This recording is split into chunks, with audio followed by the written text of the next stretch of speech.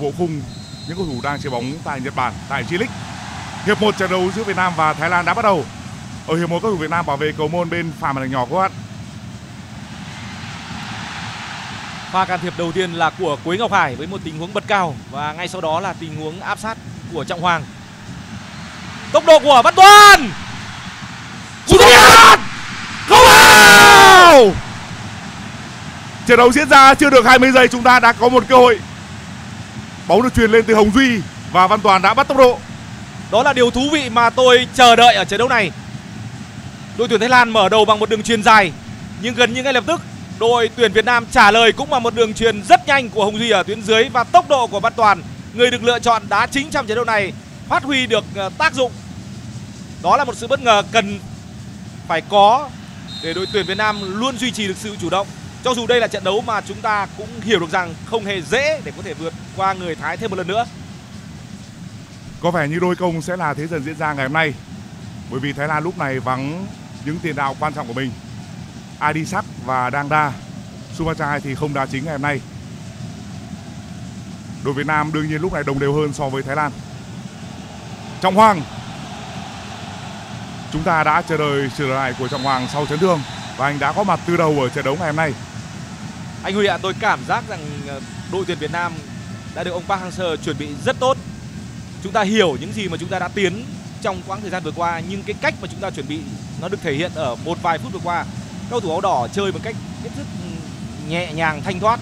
Trong khi đó thì cảm giác căng cứng như đã từng có ở trận bán kết tại Kings Cup vẫn đâu đó bên cạnh cầu thủ Thái Lan. Đúng là như vậy. Chúng ta kiêu hãnh với vị trí của mình. Tuy nhiên sẽ chơi với tất cả trách nhiệm và cả sự thăng hoa nữa. Cú đấm bóng thể hiện sự phần nào đó là sự thiếu tự tin. Hơi tiếc một chút cho pha chỉnh bóng vừa rồi của Hùng Dũng.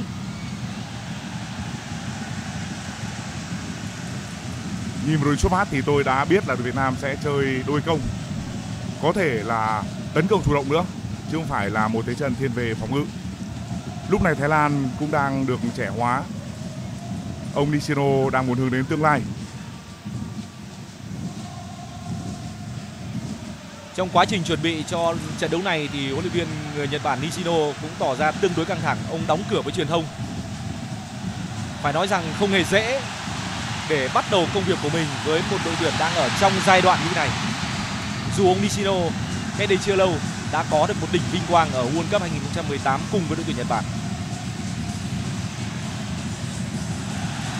Trận đấu đang diễn ra rất sôi nổi.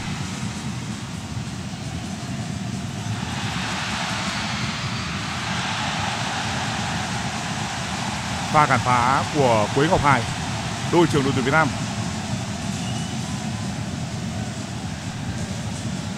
Quế Ngọc Hải cùng với Bùi Tiến Dũng và Duy Mạnh là ba cầu thủ đã chơi với nhau nhiều, rất hiểu nhau. Ông Nishino là huấn luyện viên đã từng vô địch cúp C1 châu Á AFC Champions League với Gamba Osaka. Ông cũng đã từng vô địch G-League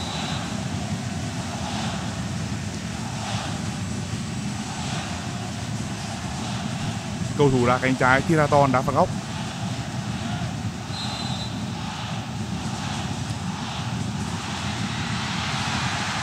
Pha đẩy bóng ra của Văn Lâm.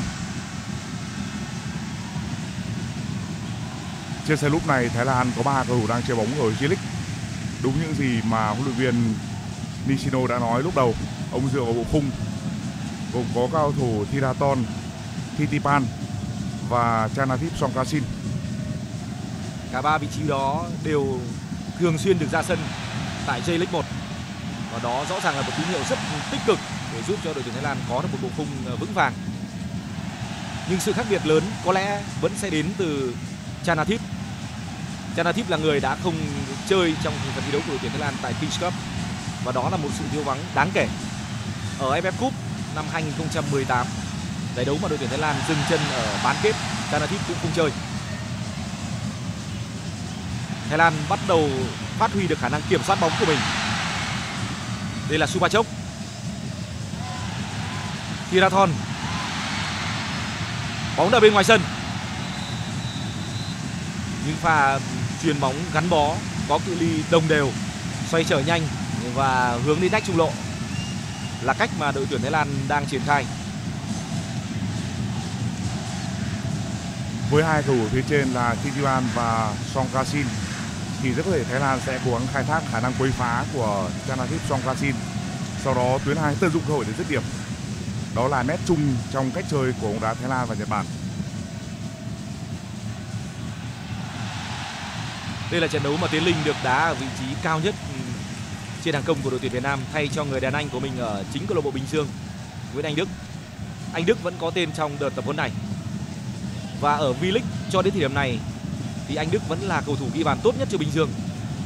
Nhiều hơn một bàn so với Tiến Linh.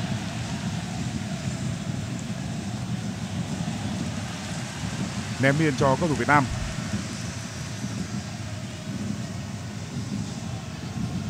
Thiraton và Christian Đô đang là hai cầu thủ chạy cánh của Thái Lan. Có thể nói những cầu thủ chạy cánh của Thái Lan đã được nâng tầm lên rất nhiều từ thời của Kirtisak Senamwang. Sau đó phần nào đó cách chơi cánh của Thái Lan đã bị mai một đi dưới thời của Rajavak và sau này là Sirisak. Sau khoảng hơn một phút đầu tiên, có phần hơi căng cứng thì dường như sự chủ động, tự tin đã trở lại với đội tuyển Thái Lan. Đây là lúc chắc chắn là đội tuyển Việt Nam sẽ cần phải điều chỉnh lại lối chơi của mình.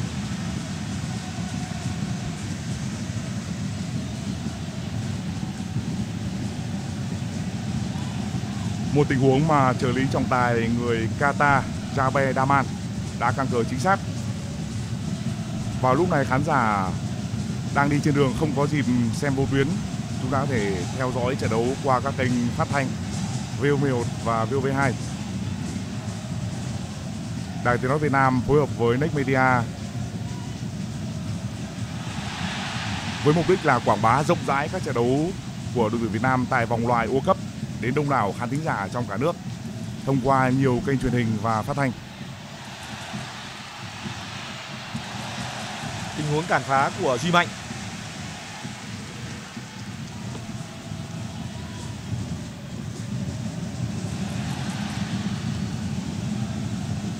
pha bóng dứt khoát của Quế Ngọc Hải.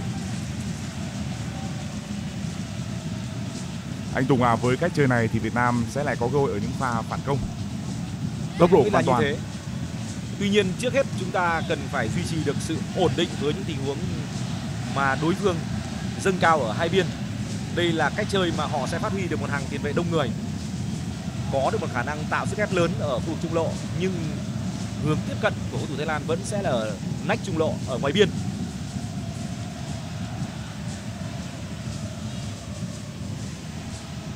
Năm 2016 khi mà Thái Lan vô địch AFF Cup thì họ thi đấu với sơ chiến thuật 3-4-3. Lúc đó cách vận hành của Thái Lan rất giống với câu lạc bộ Chelsea của Anh. Kirtisak đã sử dụng hai thủ chạy cánh Christian Đỗ và Thiraton rất hay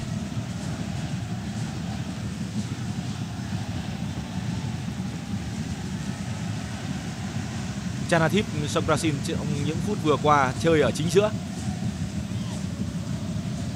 Đường truyền gần nhất của đội tuyển Thái Lan có vẻ như được dành cho Chanathip, nhưng đó là một đường truyền không chuẩn xác.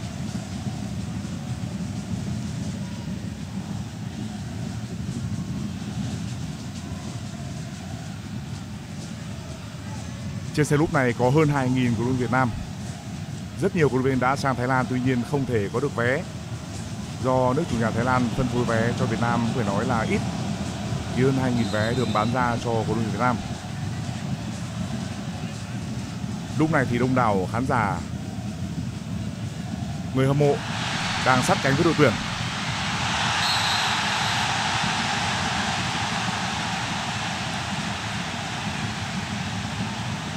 quả đá phạt cho cao thủ Thái Lan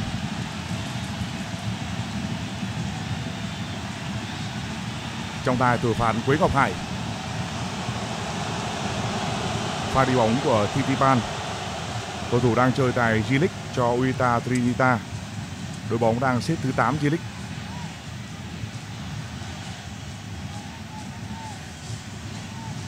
Ở trận đấu tại Kings Cup vào tháng 6, Thái Lan thua Việt Nam nhưng Thitivan đã chứng tỏ được rất nhiều. Một mẫu tiền vệ tốt cả công lẫn thủ ở mùa giải này thì Thitivan đã chơi 18 trận cho Oita Trinita nhưng không trận đấu nào đã đủ 90 phút.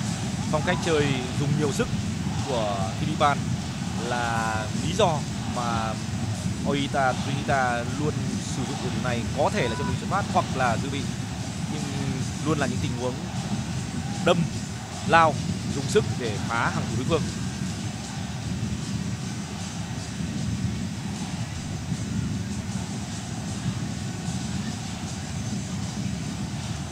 Chúng ta cần phải rất tập trung và cảnh giác ở tình huống đá phạt này. Cầu thủ mang trong mình dòng bóng Việt Nam Christian Đỗ đá phạt. Bóng đập hàng rào.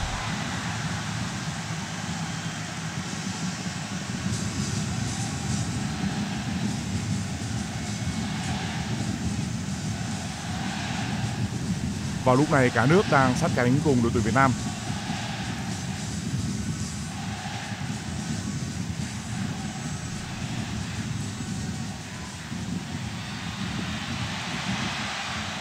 Phòng ngự rất dày.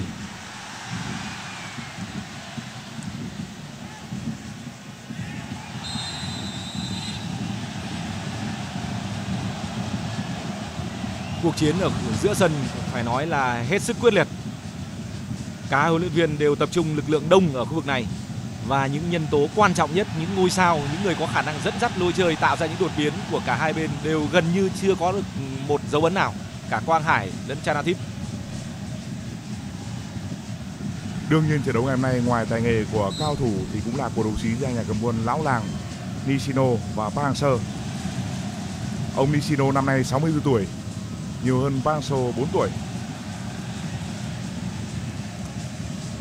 Ông Nishino là huấn luyện viên nước ngoài thứ 15 trong lịch sử của đội tuyển Thái Lan. Và trong lịch sử của đội tuyển Thái Lan thì ông Nishino là huấn luyện viên người châu Á đầu tiên dẫn dắt họ Thái Lan đang chơi với hai trung vệ là Pansa Hemvibun và Manuel Bia. Cầu thủ gốc Đức. Mất bóng. Đây là Văn Toàn. Phía trong là Tiến Linh. Vẫn là Văn Toàn. Không có cơ hội tạt bóng. Thêm một lần chúng ta thấy tốc độ của Văn Toàn đặc biệt như thế nào. Đó sẽ là một mũi xuyên phá quan trọng ở những pha phản công trong số các tuyển thủ quốc gia đang chơi cho câu lạc bộ Anh Gia Lai thì thời điểm này của mùa bóng 2019 hoàn toàn là người có phong độ cao nhất. Anh đã chơi 22 trận ở V-League mùa giải này và có 7 bàn thắng.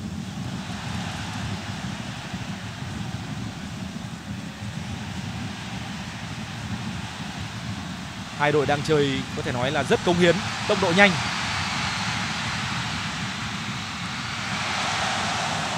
Rất may là bên trong chúng ta đã có được sự bọc lót kịp thời của Bùi Tiến Dũng. Hàng thủ ba người của đội tuyển Việt Nam đang chơi vững vàng, chững chạc.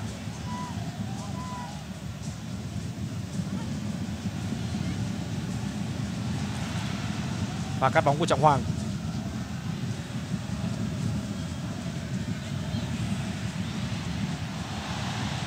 Người vừa can thiệp là Tuấn Anh.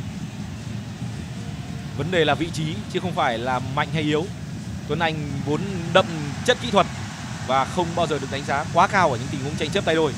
Nhưng cách bố trí con người, đội hình, cự ly giữa các cầu thủ đang được huấn luyện viên Park Hang-seo xử lý một cách ừ, chính xác. Và cuộc chiến ở khu giữa sân đang là cân bằng. Trọng Hoàng. Duy Mạnh. Đường truyền dài của Ngọc Hải lên cho Văn Toàn. Những pha truyền dài sẽ là vũ khí của đội tuyển Việt Nam có thể chờ đợi các pha truyền dài từ trung vệ và tuyến giữa, đặc biệt là của Tuấn Anh. Quả truyền vừa rồi của Quế Ngọc Hải không phải là một tình huống ngẫu nhiên, nó nằm trong ý đồ của huấn luyện Park Hang-seo và chúng ta đã có thể thấy được sự tiếc nuối của Quế Ngọc Hải với đường truyền có phần hơi già một chút.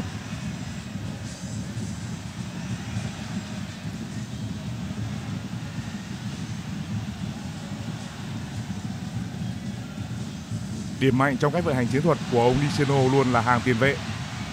Điều đó đã từng diễn ra ở G-League và đội tuyển Nhật Bản. Nishino là người thích sử dụng nhiều tiền vệ để áp đảo đối phương ở giữa sân và cũng sẵn sàng không dùng tiền đạo thực sự.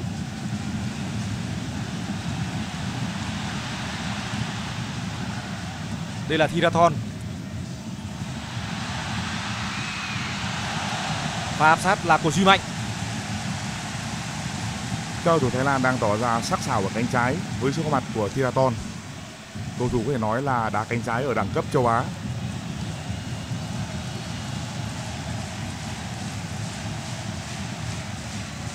Thiraton và Chanathip là những người đã không có mặt ở AFF Cup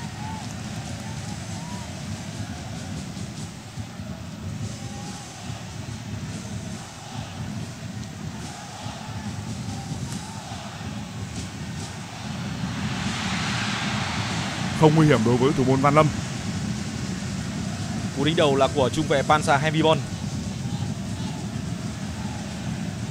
Người chia bóng bên phía góc trái là Thirathon. Với thế hệ vàng cũng đã Thái Lan cách đây 20 năm. Vị trí góc trái khó hay qua mặt được Dusit Chalemseng. Một người cũng đã từng gắn bó với bóng đá Việt Nam trong màu áo của Anh Gia Lai với những chức vô địch các năm 2003 và 2004. Ở thời điểm cùng thi đấu với Dusit trong màu áo của Anh Gia Lai. Ngoài góc trái mà chúng ta vừa nhắc tên, đương nhiên không thể không thể quên được ừ, Kiệt Isak và còn một người nữa đó là Tawan Sripan. Người vào thời điểm hiện nay đang là một trong những trợ lý của huấn luyện viên Akira Nishino.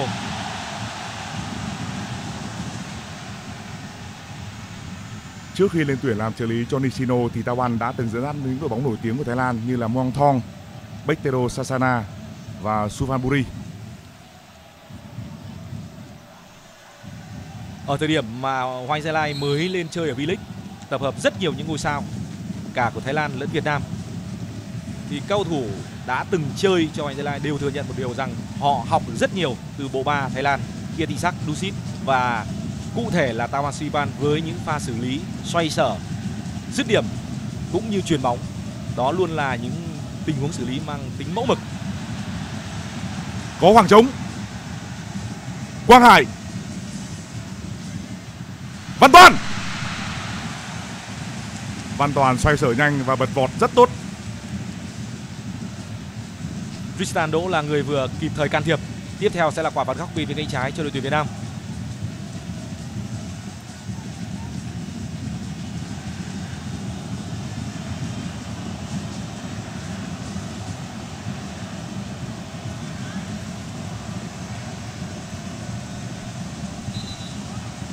Cầu thủ đá phạt góc là Đỗ Hùng Dũng.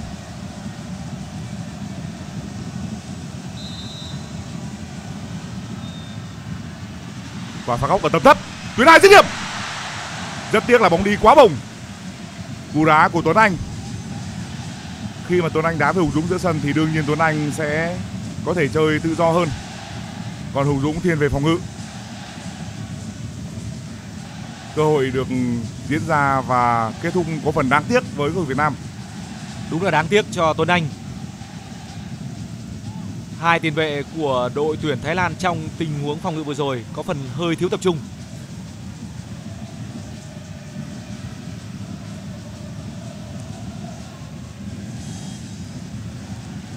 Thủ môn Sivarak của đội tuyển Thái Lan lúc này đã 35 tuổi và là người lớn tuổi nhất trên sân lúc này.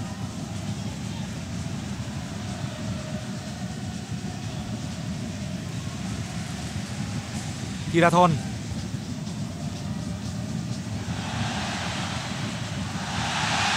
Cần phải rất cảnh giác với góc trái của Thái Lan. Cú sút ra đã bị chặn lại.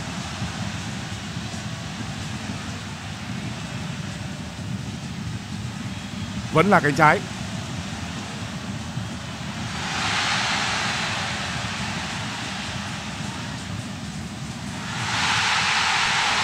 Rất may là bóng đi chệch cầu môn. Một tình huống Văn Lâm đã băng ra tuy nhiên không thể đấm bóng. Titipan đã tiếp cận cầu môn. Trong cả hai tình huống tạt bóng liên tiếp vừa qua thì Titipan luôn là người tiếp cận. Nếu như ở quả tạt bên phía cánh trái, thì Titipan có phần vào sớm hơn thì ở tình huống cuối cùng sự nguy hiểm đã có cơ hội xuất hiện trước khung thành của Đặng Văn Lâm. Đây là pha bóng mà cả trung vệ lẫn thủ môn của đội tuyển Việt Nam đều chậm hơn đối phương chút ít tốc độ chơi nhanh nhịp chơi có sự liên lạc là điều mà Thái Lan đã duy trì được tương đối tốt trong những phút đã qua. Phút thứ 20 của trận đấu, tỷ số đang là không đều.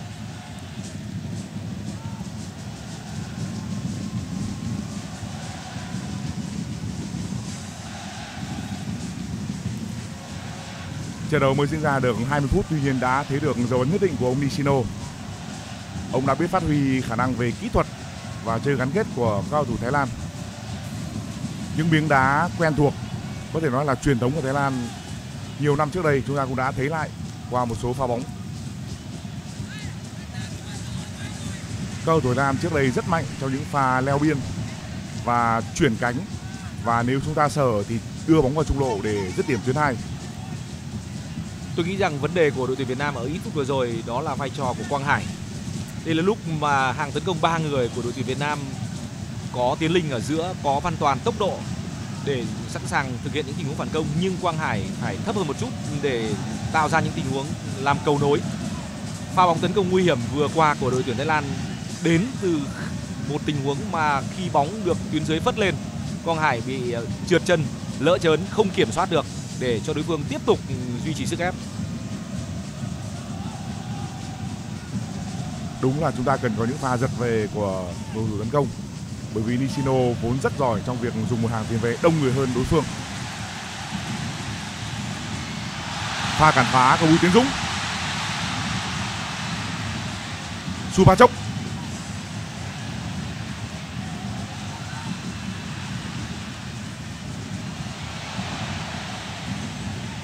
đã xuất hiện những khoảng trống tương đối là đáng lo ngại giữa Duy Mạnh và Trọng Hoàng.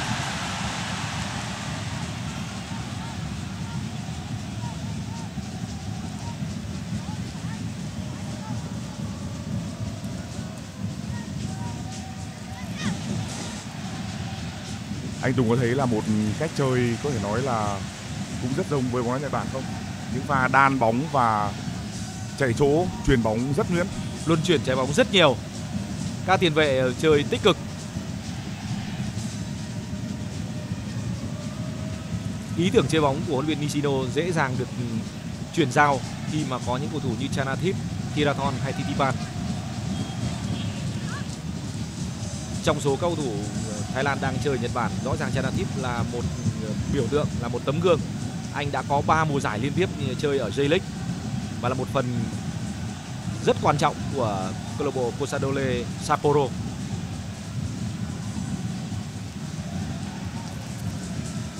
Lúc này thì Consadole Sapporo đang xếp thứ tư ở G-League.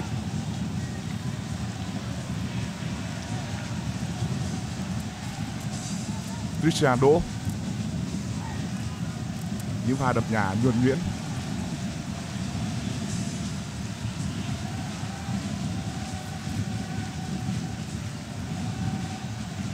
Ứng phó với sự năng động của đội tuyển Thái Lan huấn luyện viên Park Hang-seo đang cho các học trò của mình chơi với một đội hình vừa phải hơn. Hàng tấn công ba người đã thu lại, thấp hơn chút ít. Và đương nhiên sau một ờ, loạt những pha tăng tốc thì đội tuyển Thái Lan cũng phải điều chỉnh lại nhịp chơi. Họ cũng không cần phải quá vội vàng. Đây mới chỉ là thời điểm giữa hiệp thi đấu đầu tiên. Pha trả bóng của Quang Hải.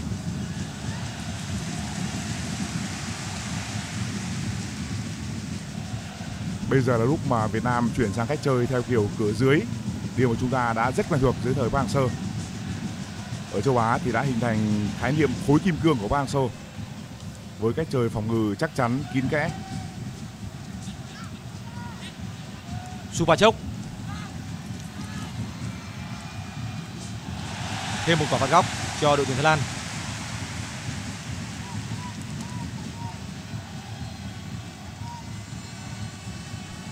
Supachok đang chơi bóng cho Buriram Jutit. Đường xuất phát của Thái Lan ngày hôm nay có 4 cầu thủ của Buriram, hai cầu thủ của Muang Thong, những đồng đội của Đặng Văn Lâm. Còn Buriram là câu lạc bộ cũ của Lương Xuân Trường. Thiraton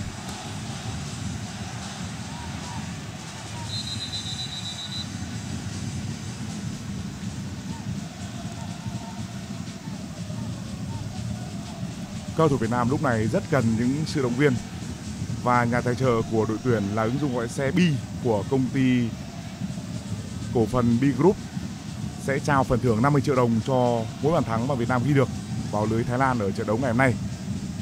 Lúc này đây, phút thứ 25 và tỷ số vẫn là không đều.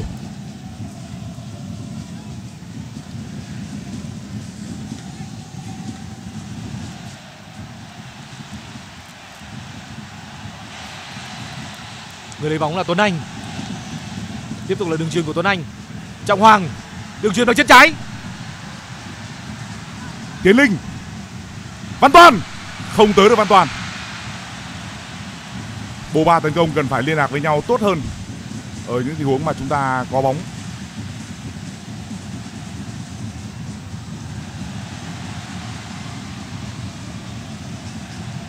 Supachok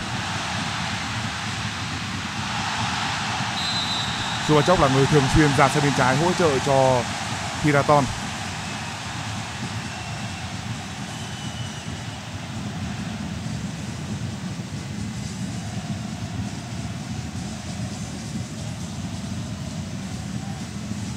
trong tay đã thừa phạt Duy Mạnh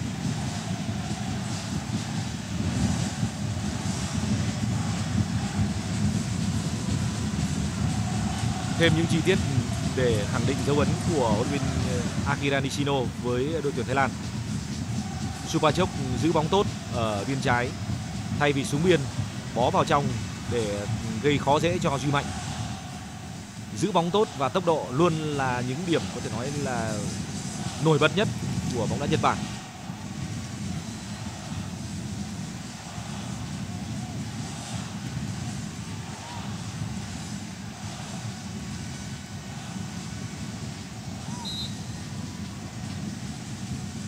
Pha treo bóng của Thiraton Đặng Văn Lâm đã bắt được bóng.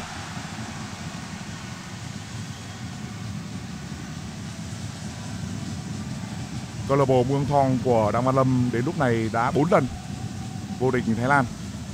Buriram Jutit vô địch 7 lần.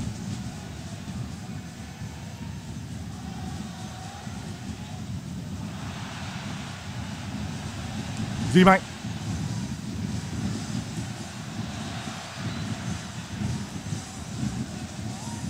Trọng Hoàng. Tuấn Anh. Quế Ngọc Hải. Không việt vị. Rất nỗ lực. Dừng được bóng rồi. Rất tiếc là bóng đi quặp vào quá sâu Gần cầu môn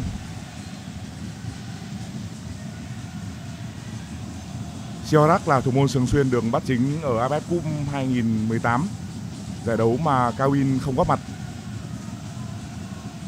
Kawin cùng với Thiraton và Chanathip Songkrasin là ba số mặt đáng tiếc của Thái Lan ở giải bóng đá Đông Nam Á cuối năm ngoái.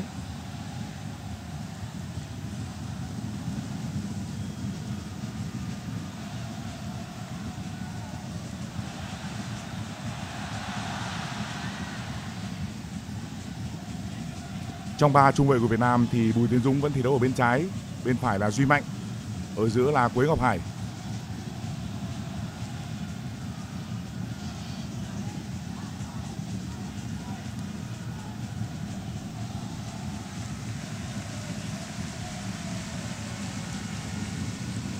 Những giây phút khó khăn đã trôi qua và trận đấu đang trở lại thế cân bằng. Cũng không thể có đâu sức lực mà ép sân và đá nhanh liên tục được đặc biệt là với bóng đá Đông Nam Á.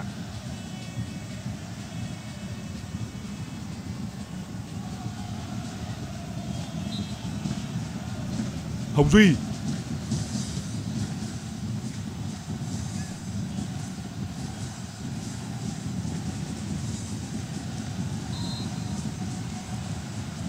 Đá phạt cho Việt Nam. Đội bàn phạm lỗi với Bùi Tiến Dũng. Đó là Titipan Zidane là cầu thủ toàn diện và cũng nhiều tiểu xảo. Chúng ta hẳn là còn nhớ tình huống anh đã vả vào mặt Đoàn Văn Hậu ở Kings Cup.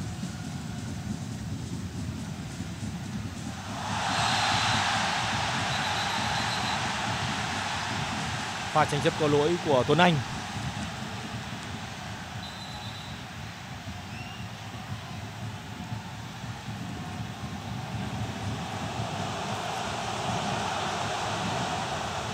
Tuấn Anh đã phạm lỗi với Chanathip. Đến lúc này chúng ta chưa thấy nhiều dấu ấn của Chanathip. Cũng giống như Quang Hải bên phía Việt Nam. Tuy nhiên Quang Hải cũng như Chanathip là những cầu thủ tài năng và luôn sẵn sàng bùng nổ, luôn sẵn sàng thăng hoa tạo ra khác biệt.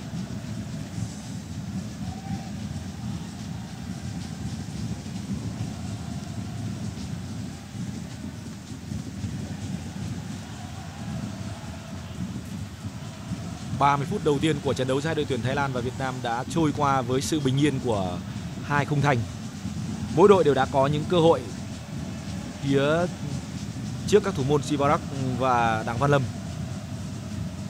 Nhưng một tình huống thực sự dứt điểm trúng đích là điều cả hai đều chưa có. Khả năng giữ bóng của đội tuyển Thái Lan cũng như ý tưởng triển khai lối chơi có sự gắn kết là điều mà ông Nishiro cùng với các học trò có phần nhỉnh hơn. Nhưng đây vẫn là một thế trận không quá bị động của đội tuyển Việt Nam.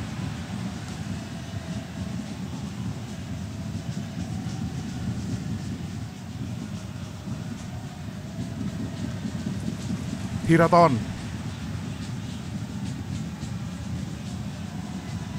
Quế Ngọc Hải Đỗ Hùng Dũng Trọng Hoàng. Đường truyền của Quang Hải.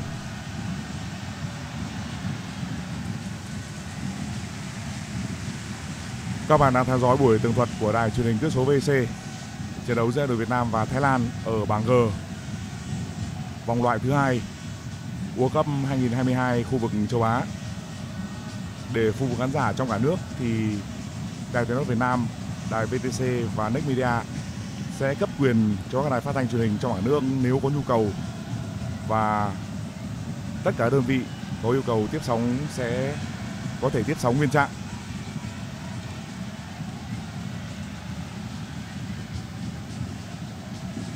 Đường truyền của Hùng Dũng. Quang Hải.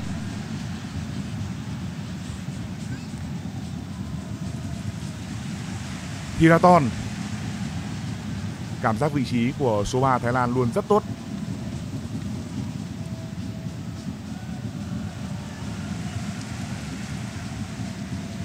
Đường truyền không được như ý của Quế Ngọc Hải. Có thể thấy được mặt sân lúc này không được tốt. Trước trận đấu đã có mưa to. Đường truyền lỗi là của Manuel Tombia.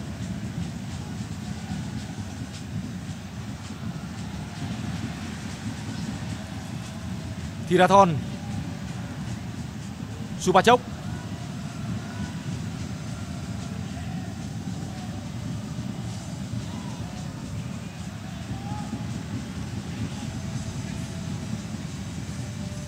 Các thủ Việt Nam cố gắng chơi kín kẽ không để Thái Lan đưa bóng về cho tuyến 2 dứt điểm. Cú đánh đầu phá bóng của Bùi Tiến Dũng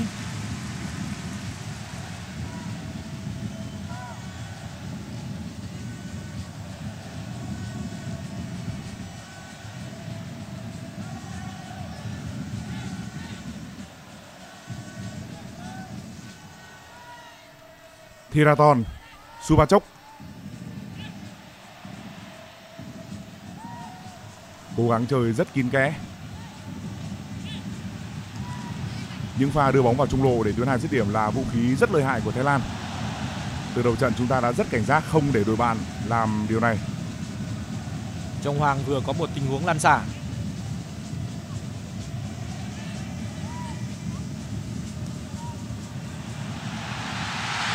Hết sức nguy hiểm. Bóng đi hơi cao so với đà bật nhảy của cầu thủ Thái Lan. Thitipan luôn sẵn sàng dâng lên, trở thành cầu thủ đá cao nhất, mặc dù anh là một tiền vệ trung tâm. Cách chơi của Thái Lan khá biến ảo. Đó là một tình huống phòng ngự mà chúng ta cần phải ờ, hết sức lưu tâm. Nguyễn Phong Hùng Duy sẽ chẳng bao giờ là đối thủ với Thitipan khi tranh chấp tầm cao. Khi chơi ở V-League thì các hậu vệ Việt Nam, những người nhỏ bé hơn cũng đã thường phải đối mặt với những tình huống tương tự khi đối mặt với các uh, tiền đạo ngoại. Một tình huống nguy hiểm. Lỗi việt vị. Đã có lỗi việt vị, tuy nhiên đó là tình huống mà chúng ta phải hết sức rút kinh nghiệm.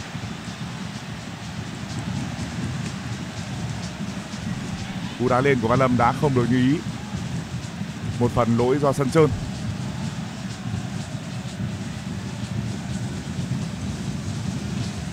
Mùa giải trước thì Chanatip có 8 bàn thắng cho Consadole Sapporo.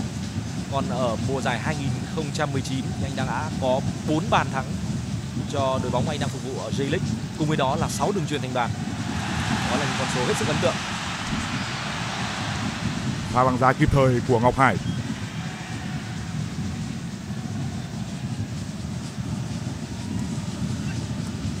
Người vừa chuyền bóng là Duy Mạnh còn bây giờ là Trọng Hoàng.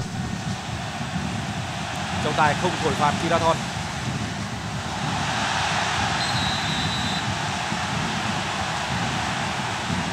trong thế trận thế này thì chúng ta sẽ rất kỳ vọng vào những tình huống xoay sở kỹ thuật nhanh của Văn Toàn và Quang Hải để đánh vào bộ đôi trung vệ đội bạn Pansa và Manuel Bia bộ đôi trung vệ Thái Lan là những người thể hình tốt nhưng xoay sở chậm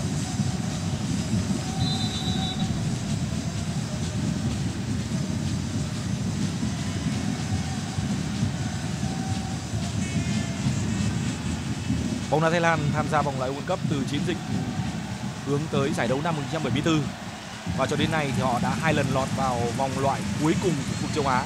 Đó là các chiến dịch vòng loại World Cup 2002 và lần gần đây nhất World Cup 2018. Tuy nhiên đều là những lần mà bóng đá Thái Lan không thể có được những kết quả thuận lợi, thậm chí họ không thắng nổi trận đấu nào.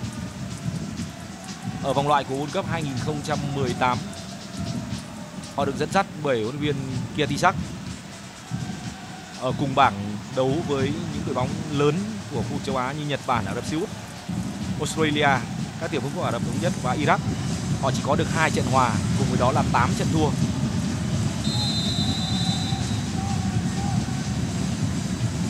với lý do là Thái Lan không thành công ở vòng loại thứ ba của vòng loại World Cup thì lãnh đạo của Pháp tức là liên đoàn Thái Lan đã sa thải sắt.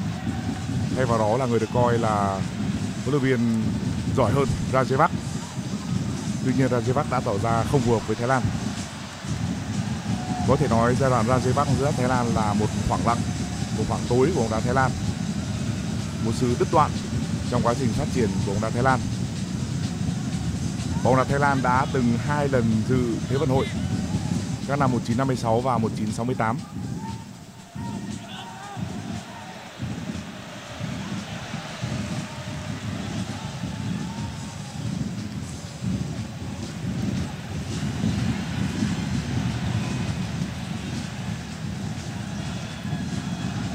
Trước đây, bóng đá Thái Lan đã từng 3 lần vào bán kết của ASEAN và một lần giải ba của Asian Cup.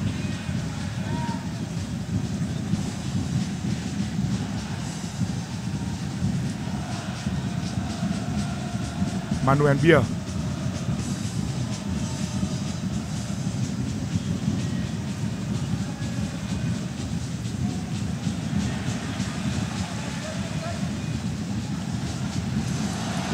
và trồng biên không thành công.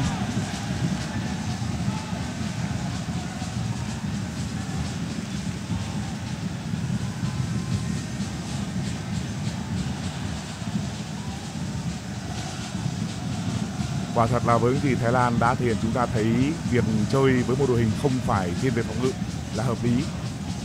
Không biết anh Tùng nghĩ thế nào chứ tôi thấy nếu mà chúng ta chơi thêm phòng ngự có thể sẽ bị cuốn vào những pha đập ngã của bạn và sẽ rất nguy hiểm hôm nay thì ông Passer đã khiến nhiều người bất ngờ khi bố trí đội hình có chất tấn công nhiều hơn để có thể sẵn sàng đôi công và không bị động.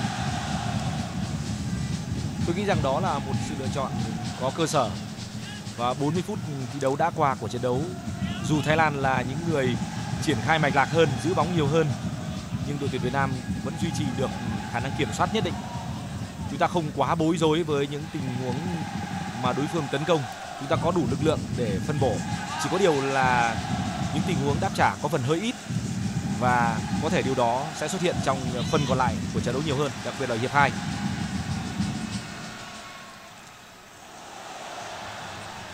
Văn Toàn. Bùi Tiến Dũng. Bóng được truyền cho Tiến Linh làm tường.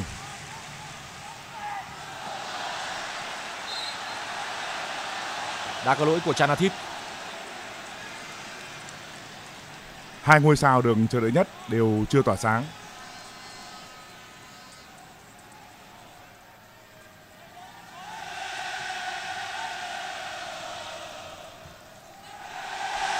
Duy Mạnh, Quý Ngọc Hải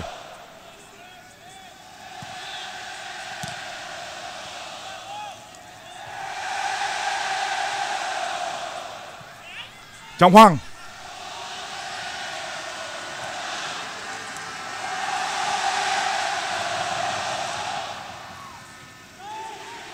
Đỗ Hùng Dũng.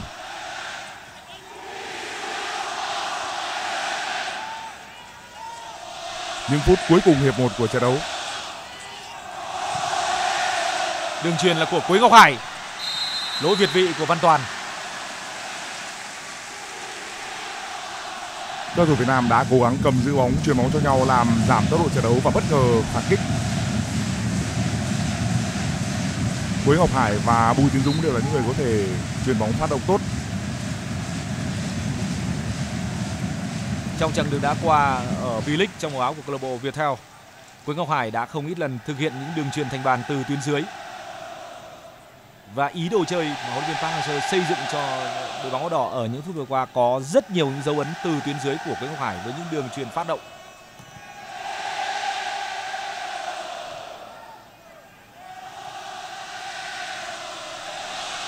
Trọng Hoàng chúng ta chờ đợi trọng Hoàng sẽ phát huy được kinh nghiệm của mình trong bối cảnh mà anh mới khỏi chấn thương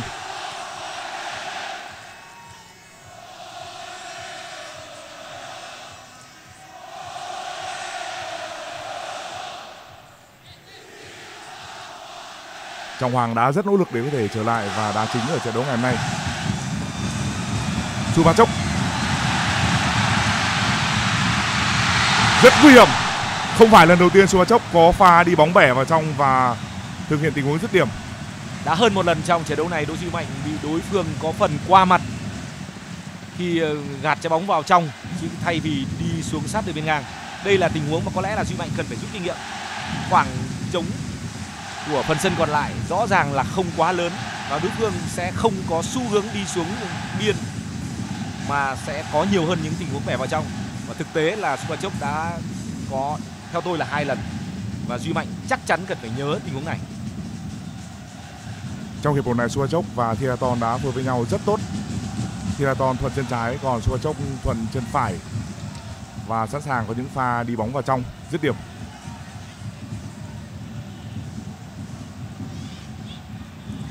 Đường truyền của Thiraton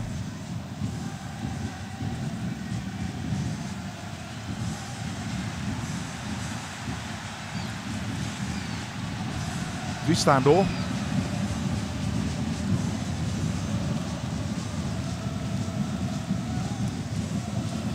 Đến lúc này thì cánh trái của Việt Nam với sự chân giữ của Hồng Duy và hiểm trợ của Bùi Tiến Dũng đã chơi an toàn. Cánh phải Thái Lan gây áp lực cũng không mạnh như cánh đối diện. Tôi nghĩ rằng ờ, việc Trọng Hoàng đã vượt qua giai đoạn chấn thương để trở lại trong trận đấu này là một ờ, yếu tố vô cùng quan trọng giúp cho ông Park có được đầy đủ niềm tin. Hàng phòng ngự của đội tuyển Việt Nam đã phải đối mặt với rất nhiều những đợt tấn công bên phía cánh trái khi mà tirathon hoặc là subachuk phối hợp với nhau. Nhưng cơ bản là chúng ta vẫn đảm bảo được vị trí. Điều đó chắc chắn có phần đóng góp của Trọng Hoàng, một cầu thủ dày dặn kinh nghiệm và đã có một sự trưởng thành với chính mình, làm mới chính mình trong hơn một năm qua. và chắc chắn là lúc này trên ghế dự bị thì Việt Nam có những cầu thủ chất lượng hơn so với Thái Lan. Rất nhiều khả năng hiệp 1 sẽ kết thúc với tỷ số hòa và chúng ta chờ đợi những con người mà chúng ta có hiệp 2 vào sân tạo ra khác biệt. Hồng Duy. Vâng, điều anh Huy vừa nói làm tôi nhớ lại những chiến dịch mà chúng ta đã được ừ, cảm nhận. Những giây phút có thể nói là sung sướng đến từ kết quả và trước đó đến từ bàn tay có thể nói là lão luyện của huấn viên Park Hang-seo với những phương án chuẩn bị với những tình huống thay người. Trong một thế trận cân bằng đội tuyển Việt Nam sẽ duy trì được một sự kiểm soát và thường có sự bùng nổ đâu đó ở nửa cuối của trận đấu rất nhiều lần như vậy rồi, phải không anh Huy? Đúng là như thế. Và trọng tài thứ tư vừa rơi biển báo hiệp 1 chỉ có một phút một giờ. Trọng tài thứ tư là ông Kasim Al Hatmi người Oman.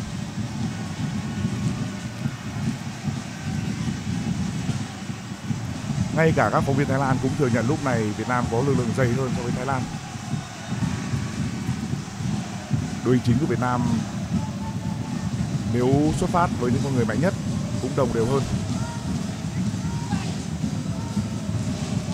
Tôi vẫn rất chờ đợi những tình huống mà chúng ta có thể tấn công tốc độ vào vị trí của hai trung vệ Thái Lan.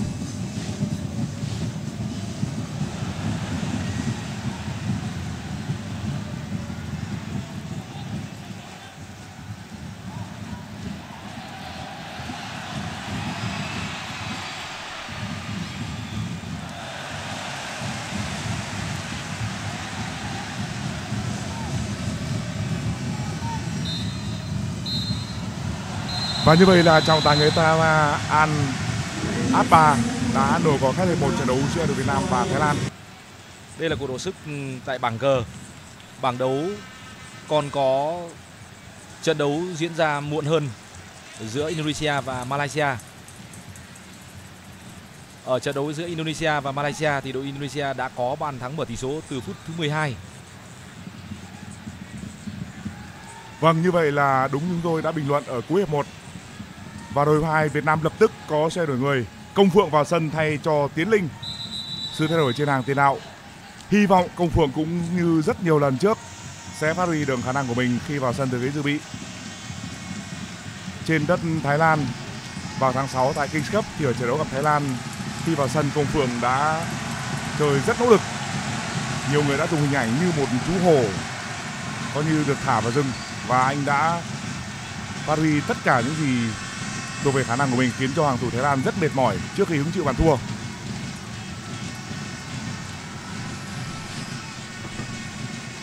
Cho đến điểm này, Thái Lan chưa thay người. Hiệp 2 trận đấu giữa Thái Lan và Việt Nam đã bắt đầu. Ở hiệp 2 Việt Nam bảo vệ cầu môn bên trái và nhỏ các bạn. Trong hiệp 1 thì những ngôi sao được chờ đợi nhất của hai đội đều đã không tỏa sáng. Đó là Quang Hải và Chanathip Songkrasin đội Việt Nam đã có cơ hội ngay ở những giây đầu tiên. Chính xác là giây thứ 18 đã có cơ hội. Rất tiếc là chúng ta đã không thành công. Và sau đó Thái Lan đã triển khai một lối chơi nhuần nhuyễn, có dấu ấn của ông Nishino. Trong thế trận, có những lúc bị động, nhưng Việt Nam về cơ bản vẫn bảo đảm cái lưu hình và chơi an toàn. Đây là Supachok cầu thủ đã chơi rất hay trong hiệp một.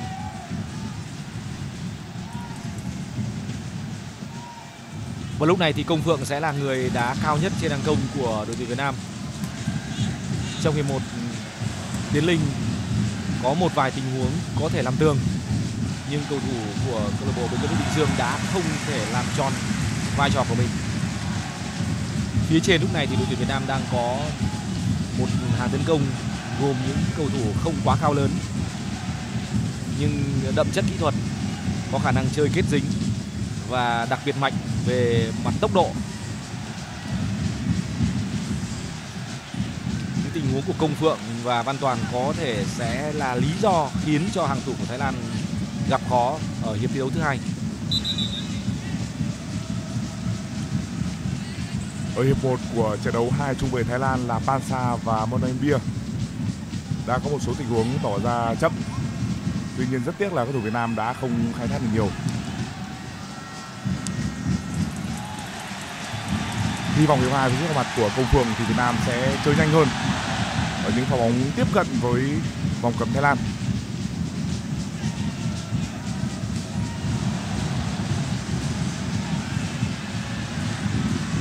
Pansa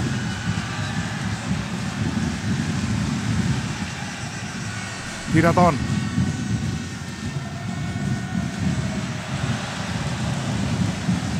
Cầu thủ Thái Lan đã không thể liên lạc với nhau. Kiraton và Supachok. Ở hiệp 1 của trận đấu Thái Lan, của luyện viên Nishino đã chơi theo kiểu không có tiền nào thật sự. Phía trên cùng là ba cầu thủ Supachok, Phitipan và Chanathip. Tuyến giữa gồm có Thanabun, Phitiwat và Sarak. Trong cách chơi của đội Thái Lan ở hiệp 1 thì Tirathon và Supachok ừ, tương đối hiệu quả bên phía góc trái trong khi đó thì ở phía trong Titipan là người thường xuyên có những tình huống áp sát, sẵn sàng uy hiếp. Và cơ hội tốt nhất của đội Thái Lan trong hiệp một cũng là pha bóng mà Titipan đã chơi như một trung phong.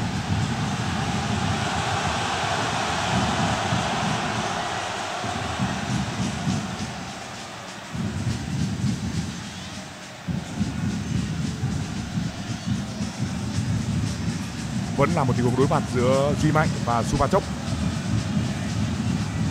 trong hiệp một Supachok đã có những pha tấn công rất nguy hiểm vào vị trí của Đỗ Duy Mạnh.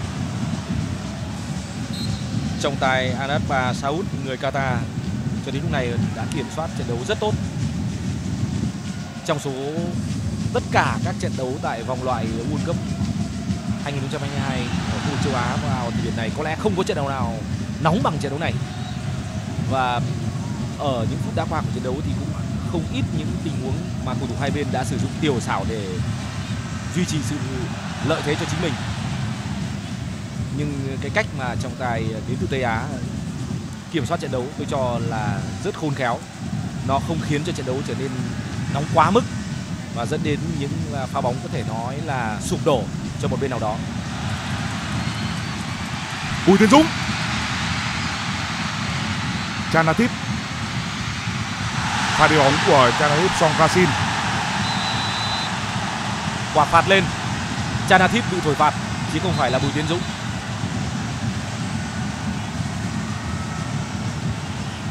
Trợ lý trọng tài đã can thiệp, có thể nói là rất chính xác.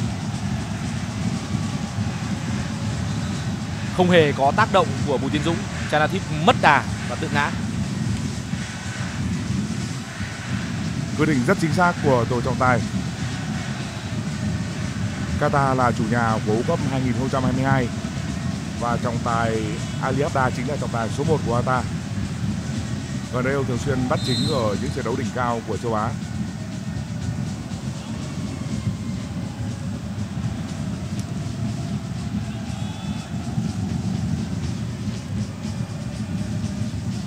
cú chạm bóng vừa rồi là của Hùng Dũng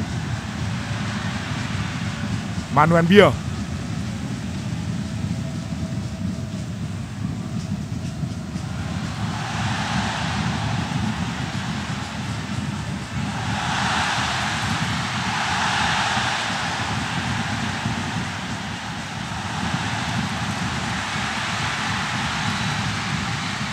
Chanathip.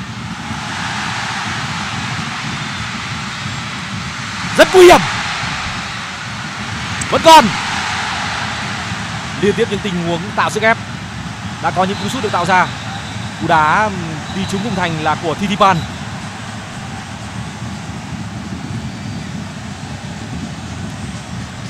đôi bàn đã phạm lỗi trong một tình huống mà đội Việt Nam cố gắng thoát pressing, đưa bóng lên.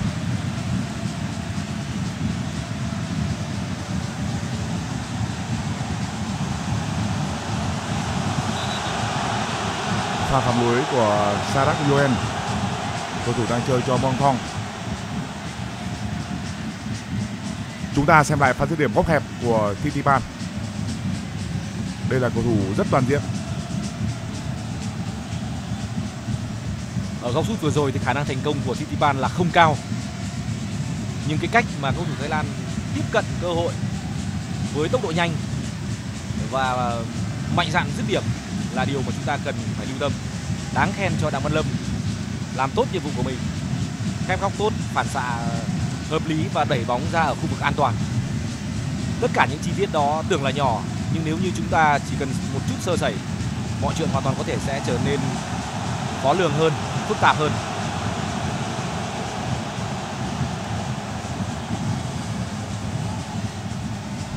Một tình huống đạp rất nguy hiểm của Titiban đối với Quế Ngọc Hải.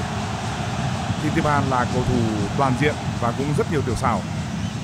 Chúng ta đã chứng kiến điều này ở trận đấu tại Kings Cup. Pha bóng xứng đáng và nhận thẻ của số 8 Thái Lan.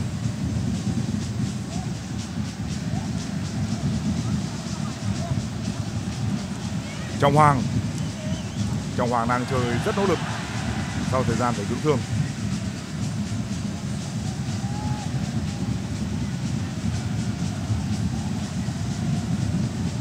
Chúng ta hy vọng hiệp hai trọng hoàng và duy mạnh sẽ phù hợp tốt hơn, không để đội bạn thường xuyên tấn công vào cánh phải của việt nam. Văn toàn.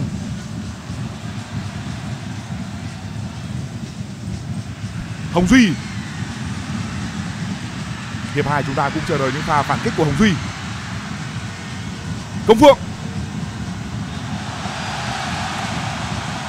Công phượng đã không thể vượt qua hậu vệ đội bạn.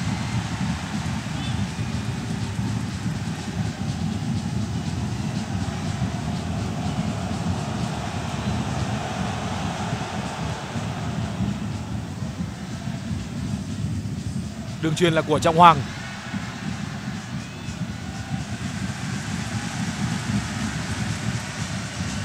pha cắt bóng của Pansa Henry Bull. Trung vệ có chiều cao 1m90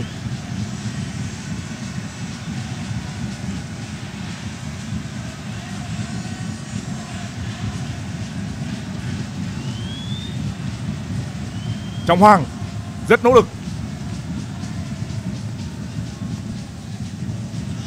Đường truyền của Quế Ngọc Hải.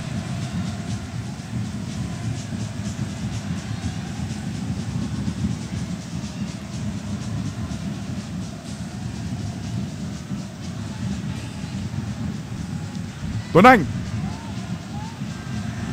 Lại là Tuấn Anh.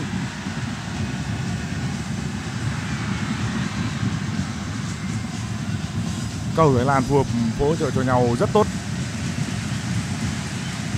đường phát triển tấn công của đội tuyển Việt Nam trong tình huống vừa rồi với Quang Hải đã bị chặn lại bởi hai hậu vệ của đội tuyển Thái Lan.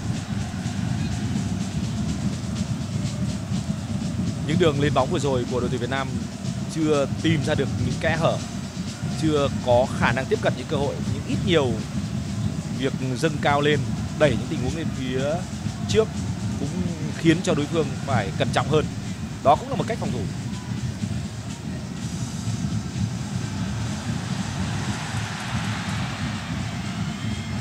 Lại là một pha tấn công biên của Supachok. Thiraton Supachok Đến lúc này Supachok là cầu thủ nổi bật nhất của Thái Lan. Xoay người sút ngay. Cú đá của Titipan.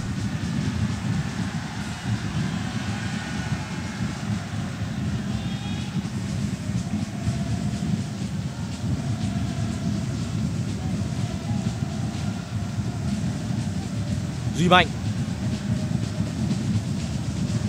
Trọng Hoàng.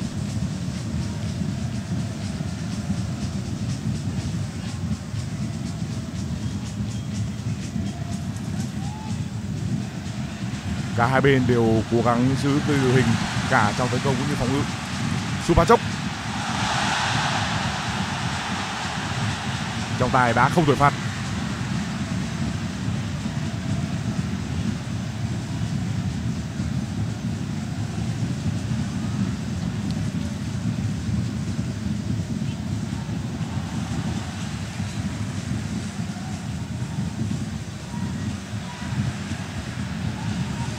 Supachok không phải, đó là Thirathon nguy hiểm Chanathip Bùi Tiến Dũng và một cầu thủ khác của đội tuyển Việt Nam đã kịp thời băng vào. Rất nguy hiểm. Liên tiếp những cú sút xa. Biến đánh sở trường của đất Nhật Bản và Thái Lan trong quá khứ đã bắt đầu xuất hiện trở lại.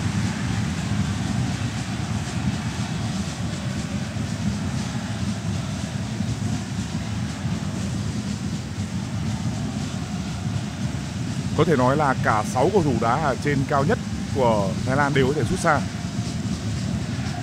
từ Supachok, Pitipan Chanatip cho đến Pitiwat, Sarak và Thanabun.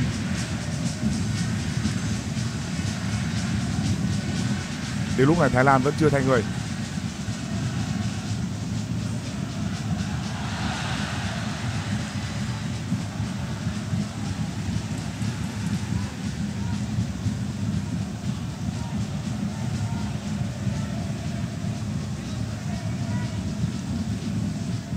Thiraton. Và hỗ trợ phòng ngự là của Văn Toàn.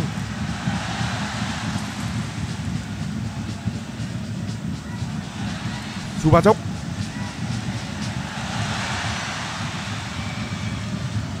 cầu thủ Thái Lan vẫn tỏ ra rất thuần thục với những pha bóng ở bên cánh trái. Đường truyền của Chanathip Rất may là đội bàn đã không thể xử lý gọn gàng.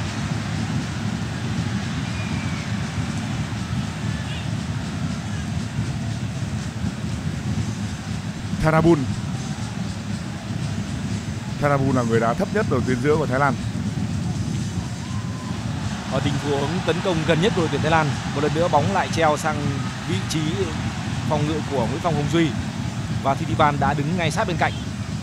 Hồng Duy để bóng qua đầu cho dù đoạn cuối của pha bóng không phải là một tình huống quá nguy hiểm, nhưng pha đổi hướng tấn công này của đội tuyển Thái Lan đã được thực hiện ít nhất là vài lần trong những phút đã qua và Hồng Duy chắc chắn sẽ cần phải quan tâm nhiều hơn đến vị trí đứng của mình và cách di chuyển của đối phương để có thể có được những phương án phòng ngự ờ, tối ưu. Cầu thủ của Muang Thong Sarak Nguyen đang bị đau và va chạm giữa Trọng Hoàng và số 4 đội bạn. Chúng ta xem lại pha bóng rất kỹ thuật của Chanalip Song Krasin. Tôi thì quan tâm nhiều hơn đến đường mở bóng sang cánh phải cho titipan Nó giàu tính, chiến thuật và có đầy đủ cảm giác của Chanathip.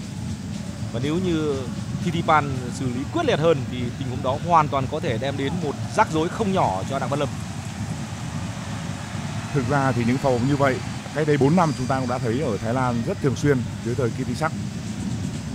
Kitisak với kinh nghiệm và thâm niên của mình đã giúp cho Thái Lan có một lối chơi đẹp và rất hiệu quả. Rất tiếc là những bất đồng trong nội bộ Liên đoàn bóng đá Thái Lan đã khiến cho Zico Thái phải ra đi.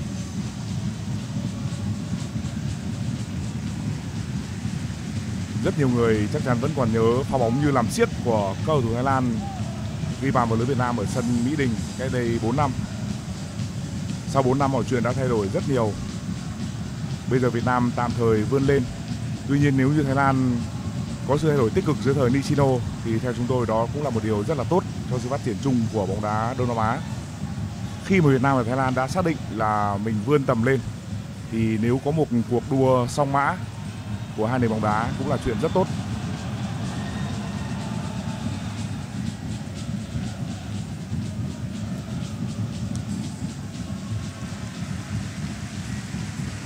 Trong hiệp 1 của trận đấu vị trí của Hùng Duy, ít gặp phải thử thách hơn so với Trọng Hoàng.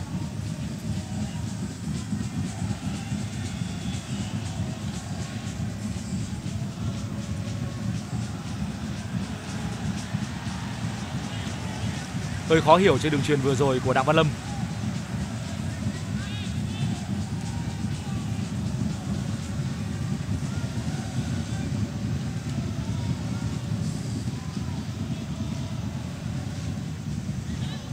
Công Phượng.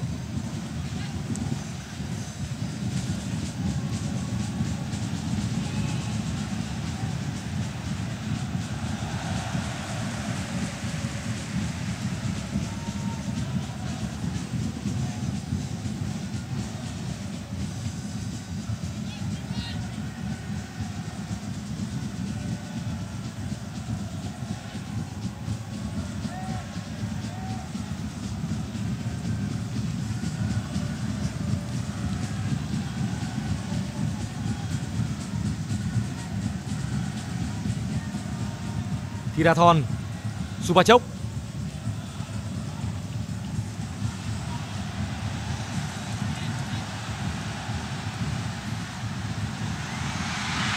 Đường truyền vào là của Tristan Đỗ Không có lỗi về vị của cầu thủ Thái Lan.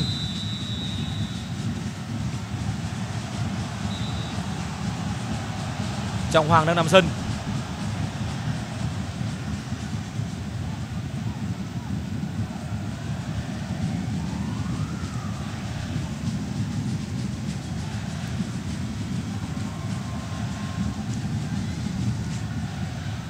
Trong thành phần sang Thái Lan lần này, ban huấn luyện đội Việt Nam có 3 người đồng hương của ông Park Seo. Ngoài trợ lý số 1 Yang Jin còn có bác sĩ Cho Ju Yang và huấn luyện viên thể lực Park Sung Kim.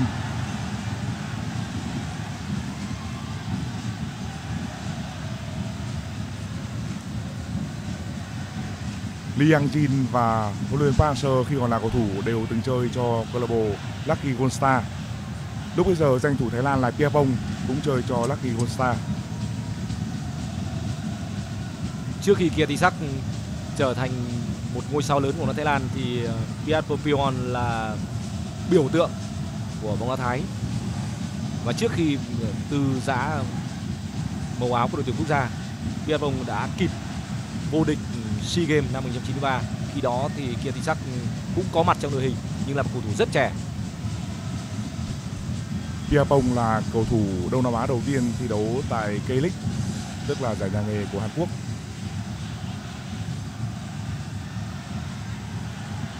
Cầu thủ Việt Nam vẫn đang đứng vững trước lối chơi có thể nói là đường nét hơn trước rất nhiều của Thái Lan. Cùng với đó là cả những kinh nghiệm và tiểu xảo. Đường chuyền dài của Quý Ngọc Hải. Bóng đã chạm tay của Trọng Hoàng.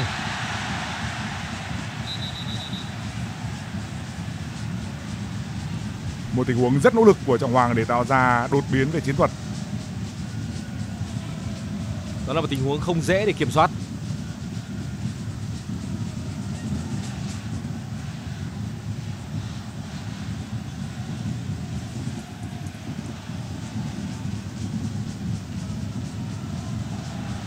Pansa Tristan đỗ đường truyền của Thanabun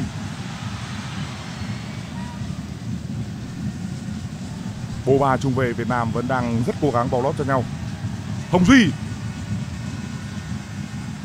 Công Phượng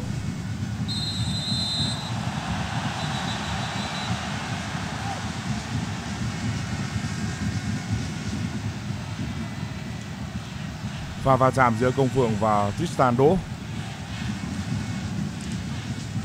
Vũ Văn Thanh vào sân. Trọng Hoàng rời sân. Trọng Hoàng đã rất nỗ lực thi đấu cho đến điểm này. Mới trở lại sau chấn thương, Trọng Hoàng đã cố gắng đá chính và lúc này anh nhường vị trí cho Vũ Văn Thanh. Văn Thanh sẽ thay Trọng Hoàng ở vị trí đá bên cánh phải.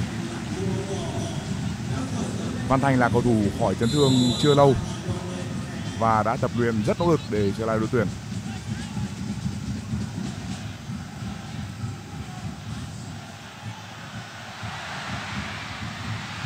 Công Phương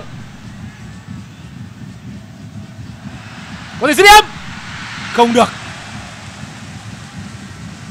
Cú đá là của Hùng Dũng.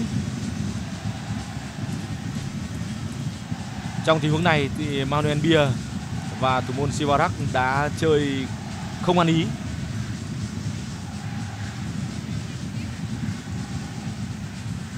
Đỗ Hùng Dũng là tiền vệ công thủ toàn diện, nhưng đá ở đội tuyển anh phải đánh trọng trách, phòng ngự nhiều hơn. Đặc biệt là khi đá cùng với Xuân Trường hoặc là Tuấn Anh.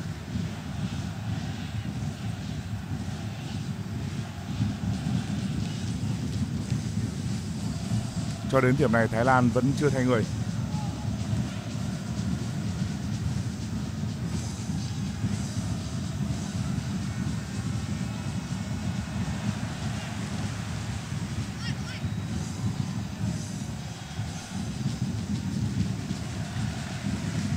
Tristan Đỗ.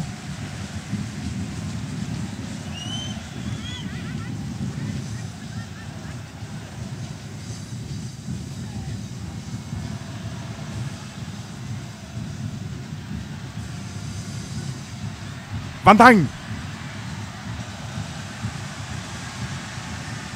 Trong một ngày khỏe mạnh thì Văn Thành là hậu vệ biên công thủ toàn diện. Chúng ta rất mừng khi cả Văn Thành lẫn Tuấn Anh đều đã ổn định sau chấn thương. Họ đều đã phải dưỡng thương dài. Thái Lan thay người và bây giờ tiền đạo Cao Kiều Subachai vào sân. dưới sân là tiền vệ Sarak. Ông Nishino bắt đầu sử dụng tiền đạo thực sự.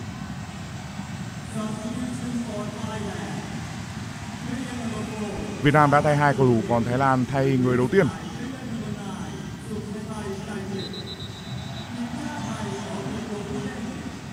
Supachai là cầu thủ nằm trong độ tuổi U23.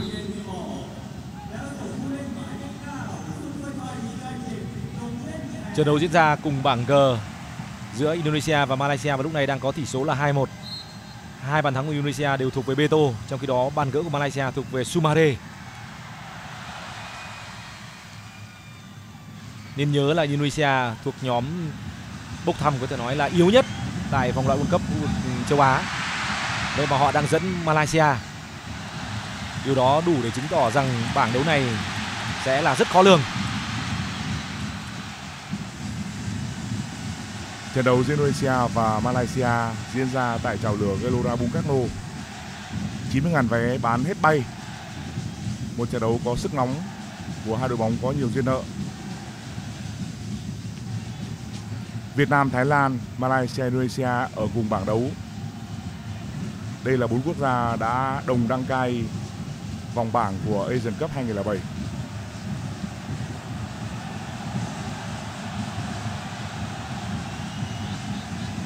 Chúng ta hãy chờ xem ông Nishino sử dụng anh chàng cao kiều Subachai như thế nào.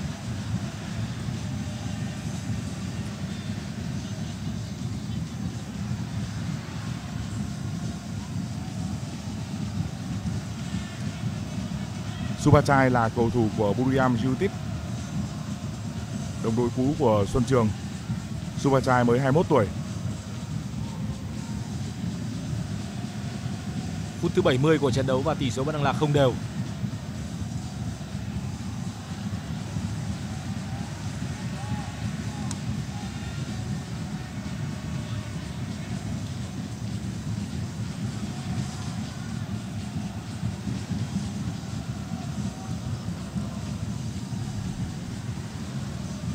Cho đến lúc này của trận đấu thì Thái Lan vẫn là những người nhỉnh hơn về khả năng kiểm soát trái bóng. Nhưng đội tuyển Việt Nam vẫn biết cách để có thể tạo ra một sự cân bằng tương đối. Tuấn Anh và xử lý khôn khéo của Tuấn Anh. Vũ Văn Thành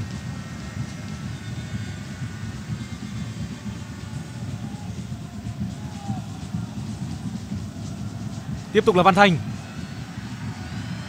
đột phá, chân trái. Cú đá trúng đích.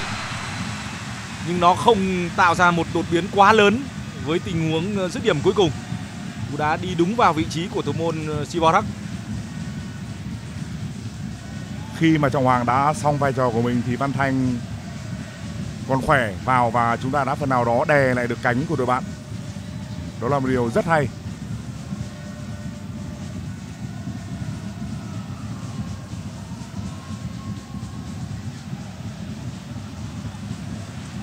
Thitipan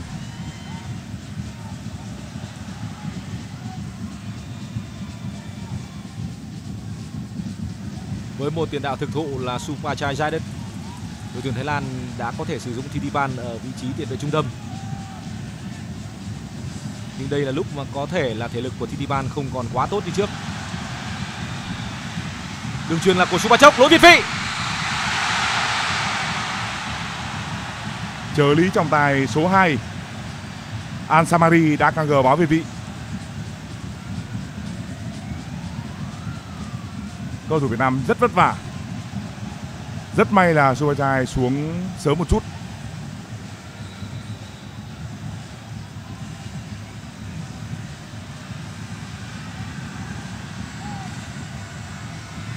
Suachai là cầu thủ được xuất hiện nhiều tại AFF Cup cuối năm ngoái.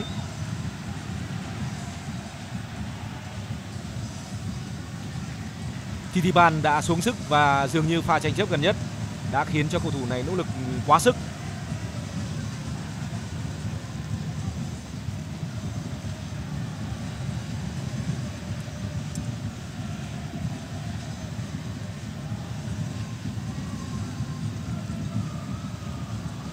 Có lẽ là Titiban không thể đá tiếp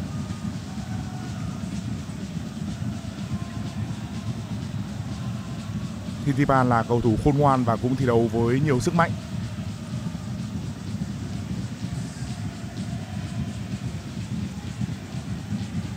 Kể từ sau năm 1975 thì đội tuyển bóng đá Việt Nam bắt đầu tham dự các trận đấu vòng loại của World Cup từ kỳ World Cup năm 1994 và kể từ đó đến nay thì bóng đá Việt Nam chưa một lần lọt vào tới vòng loại cuối cùng của cuộc châu Á, nơi luôn góp mặt những đại biểu ưu tú nhất của châu lục với những thành công của bóng đá trẻ và cấp độ đội tuyển quốc gia ở quãng thời gian hơn một năm qua. Đây là lúc chúng ta hy vọng rằng huấn luyện viên Park Hang-seo và các cầu thủ của mình sẽ đi đến vòng loại ờ, cuối cùng và viết tiếp ước mơ đến với World Cup của bóng đá Việt Nam. Vẫn sẽ là quá sớm để nói về kết quả của những gì bóng Park Hang-seo và các học trò có thể đạt được. Nhưng việc khẳng định mình thêm một lần nữa với những trận đấu ở vòng loại thứ hai này trong đó có các trận đấu của đội tuyển Việt Nam với những đội bóng ở khu vực, rõ ràng sẽ là hết sức đáng chú ý. Đoàn Văn Hậu vào sân. Rời sân là Đỗ Duy Mạnh. Duy Mạnh bị đau và không thể đá tiếp. Văn Hậu sẽ vào để đá trung vệ.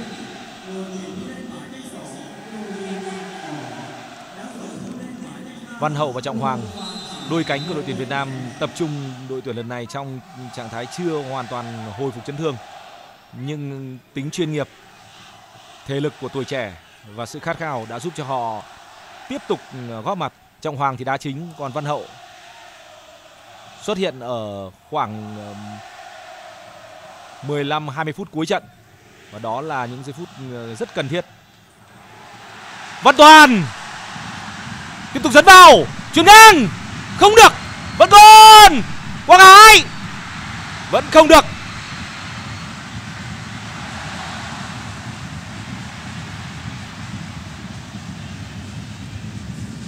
Chanathip Songkrasin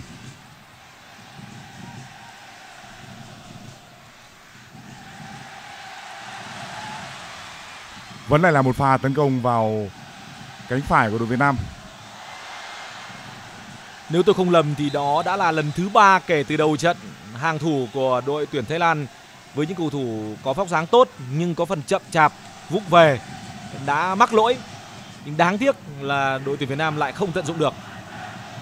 Vâng, tôi đã hơn một lần nhắc đến điều này từ hiệp 1 nhưng mà tiếc là chúng ta vẫn chưa thành công ở những pha đối mặt với hậu vệ Thái Lan.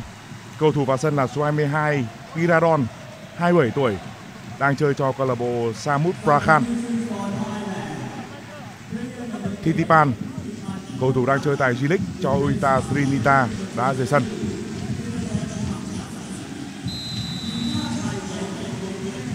Titipan là cầu thủ có thể nói là tích cực nhất và thậm chí có thể coi là nguy hiểm nhất trong đội thi đấu của đội Thái Lan trong những phút đã qua.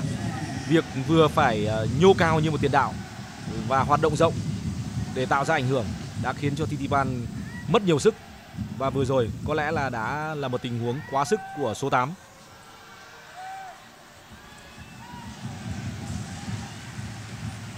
Ngoài ba vị trí chính thức đang chơi ở G-League thì trên cái dự bị của Thái Lan có hai cầu thủ đang thi đấu tại nước ngoài, đó là Tumon Kawin bắt cho Leuven của Bỉ và Sasarak cũng chơi ở G-League cho Yokohama Marinos đồng đội của Thiraton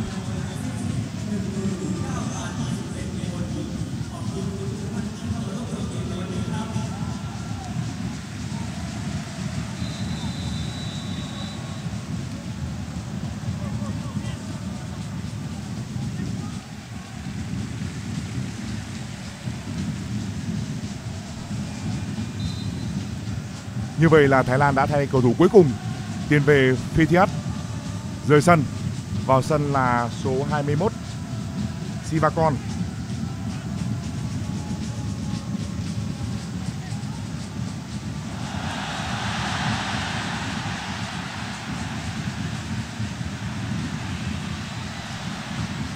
Subachok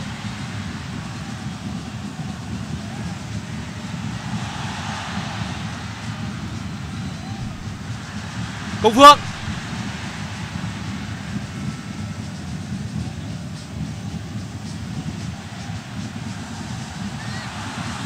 Rất tích cực.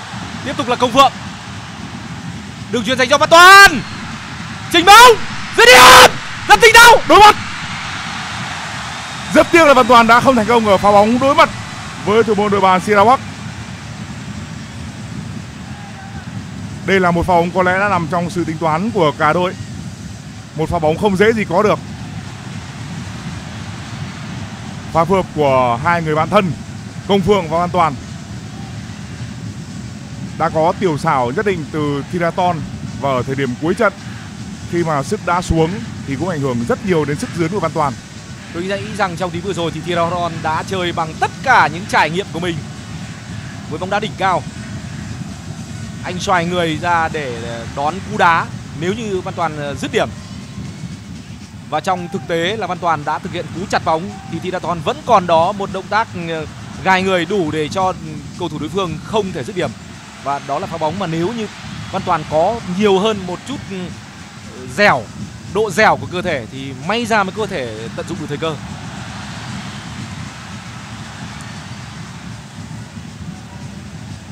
Chúng ta đang chứng kiến một trận đấu hao tồn rất nhiều sức lực của cầu thủ hai bên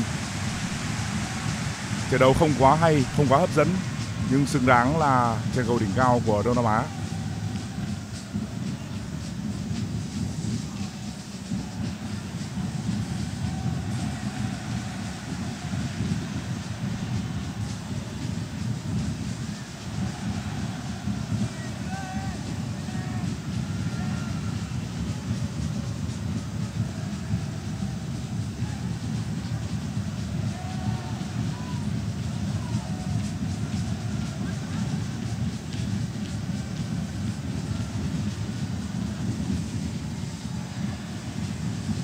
phút thứ 80 tỷ số vẫn đang là không đều. Không loại trừ khả năng trong khoảng thời gian còn lại của trận đấu, Thái Lan sẽ phải sử dụng những tình huống bóng bổng khi họ đang có Supachazet đất ừ, tiền đạo mục tiêu ở phía trên. Lỗi là của Văn Thành.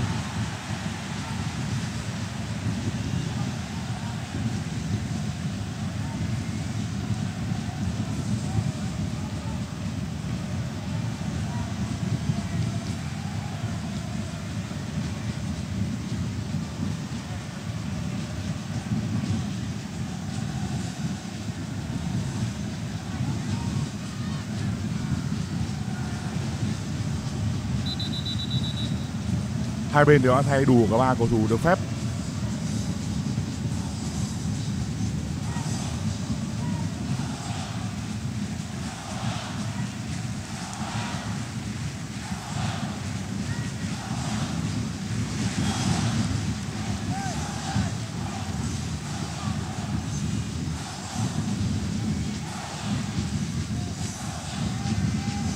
Thiraton và Subachok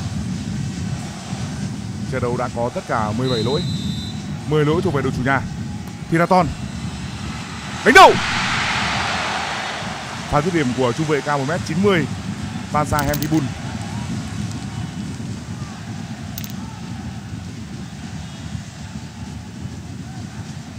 có cảm giác là những trải nghiệm với bóng đá đỉnh cao của Thái Lan đã giúp cho Đặng Văn Lâm chững chạc hơn. Có thể chỉ huy tốt hơn những pha bóng cố định và khống chế tốt hơn những quả bóng bổng.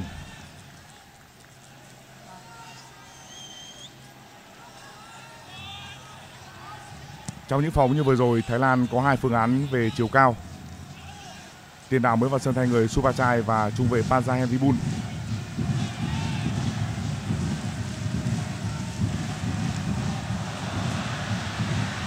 rất nỗ lực nắm bắt cơ hội. Đi bóng tiếp. Đó là Văn Toàn.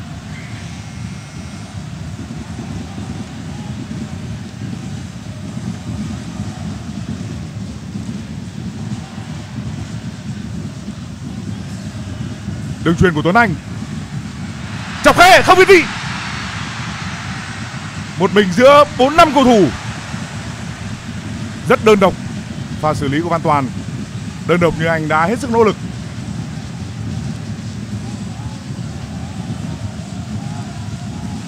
Một mình giữa năm cầu thủ đội bạn. Đúng là như cái cách mà Văn Toàn vừa giải thích với các đồng đội. Không có ai cả. Không có ai dâng lên đủ nhanh để có thể tạo ra một tình huống phù hợp với số 9 nhưng dù sao đi nữa thì chúng ta cũng cần phải có một lời khen dành cho Văn Toàn ở trận đấu này. Anh là người đã mở đầu trận đấu cho đội tuyển Việt Nam với một ờ, tình huống mang đúng phong cách của mình, tốc độ. Hơi tiếc một chút về khả năng tận dụng thời cơ của Văn Toàn và các đồng đội ở trận đấu này mà thôi. Tôi có cảm giác rằng đây là trận đấu có hơi hướng giống như những gì mà chúng ta đã trải qua ở Kings Cup. Trong trận đấu bán kết của hai đội hồi tháng 6, Thái Lan có khả năng ờ, kiểm soát trận đấu nhỉnh hơn chút ít và có nhiều thời điểm họ tạo ra sức ép tốt. Nhưng về cơ bản, đội tuyển Việt Nam vẫn duy trì được sự chủ động tương đối. Và chúng ta biết cách kiên nhẫn để chờ đợi thời cơ. Tuấn Anh. Trên xe lúc này đội Việt Nam có 5 cầu thủ của câu lạc bộ Anh Gia Lai. Và tôi vẫn đang kỳ vọng Tuấn Anh được dự đến phút này trên sân sẽ có những pha bóng chọc khe nào đó. Subachok chúng ta đã rất nỗ lực và tập trung để ngăn chặn những cú sút xa. Cú đá cuối cùng của Subachok đã vấp phải và truy cản của Bùi Tiến Dũng. Cho đến phút này thì một cầu thủ đã chơi năng động như Chốc thì khó lòng có thể duy trì được ờ, sự dẻo dai. Có thể vẫn lắt léo đâu đó, nhưng đến thời điểm cuối cùng khi ờ, ra chân thì ờ, tốc độ cũng không còn được tốt như trước. Rõ ràng là với những cầu thủ tấn công thì đến lúc này những pha bóng chúng ta vẫn gọi là tới cùng, rất khó. Luôn cần có sự viện trợ. Tuấn Anh đánh đầu giải nguy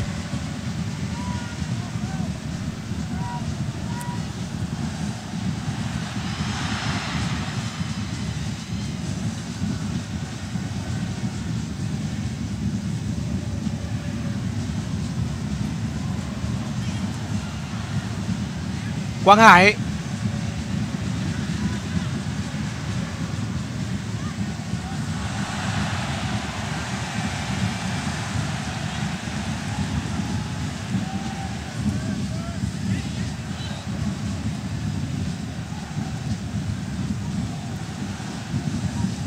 Thiraton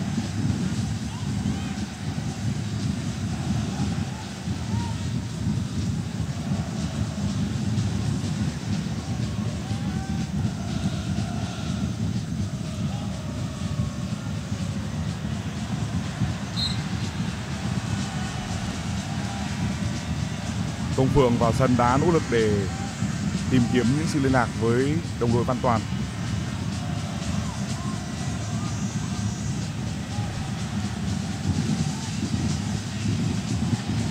Loạt trận vòng loại World Cup 2022 của khu vực châu Á sẽ tiếp tục diễn ra trong tháng 9 nhưng ở lượt trận thứ hai thì đội tuyển Việt Nam sẽ được nghỉ. Khi đó thì đội tuyển Indonesia sẽ chơi sân nhà để tiếp tục ờ, tiếp đội tuyển Thái Lan.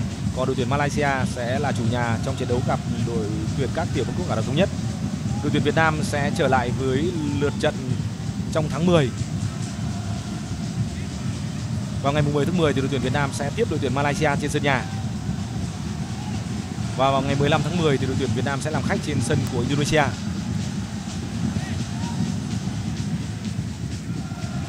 Rất đẹp. Quang Hải. Văn Toàn di chuyển. Quang ơi! Chuyền ngang. Chỉnh bóng Công Vương. Không được. Một tình huống mà bộ ba Quang Hải, Văn Toàn Cô Phượng đã cố gắng liên lạc với nhau. Tuy nhiên cầu thủ Thái Lan vẫn chứng tỏ được kinh nghiệm và sự lão luyện của mình. Lỗi của Bùi Tiến Dũng.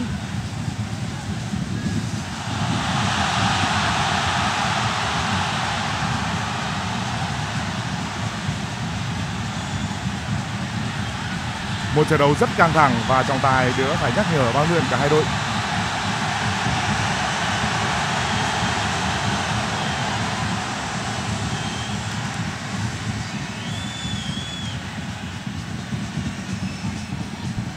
Bùi Tiến Dũng với nỗ lực ngăn chặn Chanathip Songkrasin.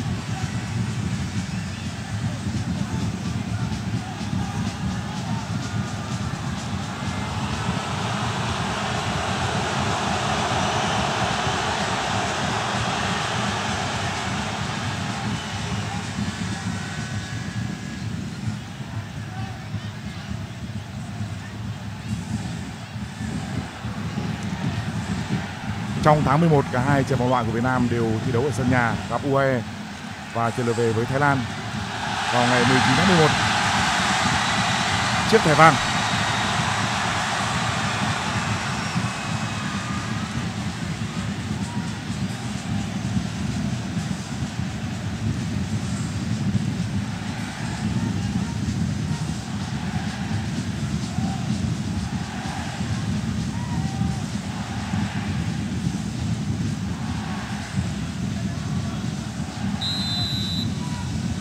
Piraton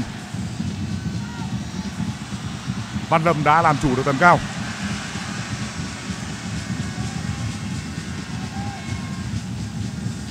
Hiện nay ở Thái Lích, Đội Muông Thong của Văn Lâm đang xếp thứ 6 Sau 25 vòng đấu. Thái Lích có sơ mặt của 16 đội. Đến lúc này Buriam Jutit dẫn đầu, Thứ hai là Chiềng Rai.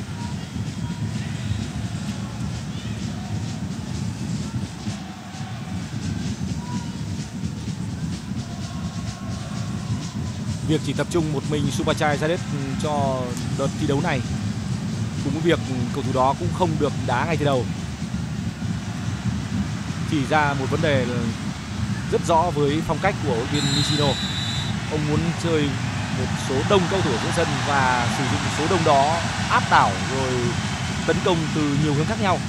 Nhưng rõ ràng là không có một sự chuẩn bị cụ thể cho một phương án tiền đạo nào. Và ngay cả khi Supachai ra đất vào sân, thì phương án phục vụ cho Supachai hay sử dụng Supachai để làm tường cũng không hề xuất hiện. Đội tuyển Thái Lan gần như không tập kỹ với phương án có Supachai ra đất hay nói cách khác là tiền đạo uh, cụ thể nào. Thanabun vừa rồi đã phải nhận thẻ vàng.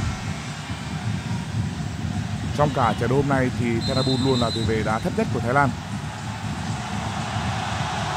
Phút thứ 90 cách biệt vẫn chưa được tạo ra một ngày không có nhiều dấu ấn của cả Chanathip lẫn Nguyễn Quang Hải.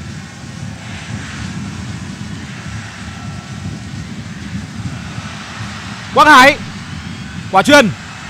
Cú sút. Rất đáng tiếc lại bị trượt chân trụ. Đó là công phượng thời gian vừa qua công phượng không được thi đấu nhiều ở câu lạc bộ Saint Trident tại bỉ. Hết sức đáng tiếc cho một cầu thủ có trình độ và vào sân còn khỏe như công phượng. Anh đã dồn lực toàn bộ cho cú đá, nhưng phần nào đó chân dù đã bị trượt ảnh hưởng đến pha dứt điểm. Một hình ảnh điển hình cho việc không được thi đấu. Nhiều nó ảnh hưởng như thế nào đến phong độ?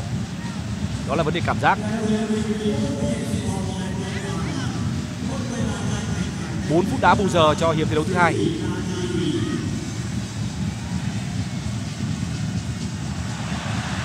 Công phương. Công phương đi bóng. Đây là văn toàn. Quả phạt cho đội tuyển việt nam. Cầu thủ phía trên của đội tuyển việt nam vẫn đang còn rất dẻo dai.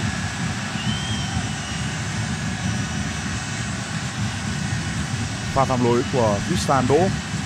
Cầu thủ mang trong mình một phần dòng máu Việt Nam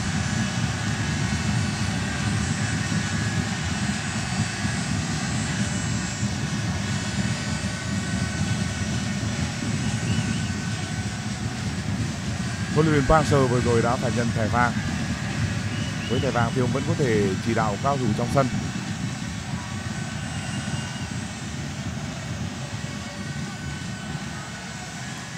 liệu có thể có một đường truyền như Lương Xuân Trường đã từng tạo ra ở Kings Cup hay không?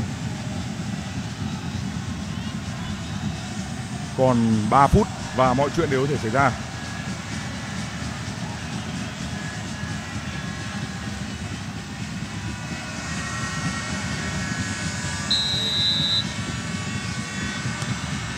Công Phượng đá phạt.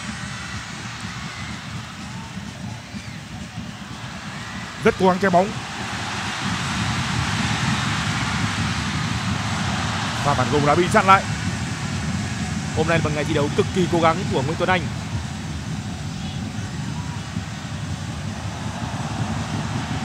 Đến lúc này Việt Nam đã đội có nhiều cơ hội rõ rệt hơn. Rất tiếc là chúng ta vẫn chưa thể ghi bàn.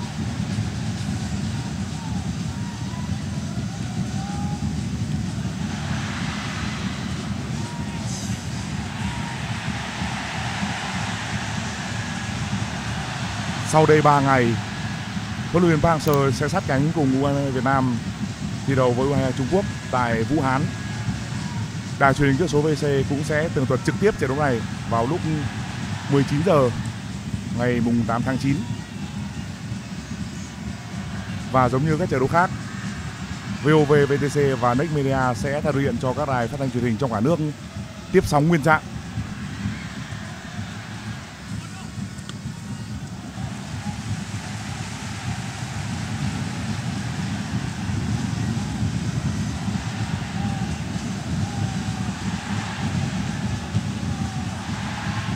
Pirathon.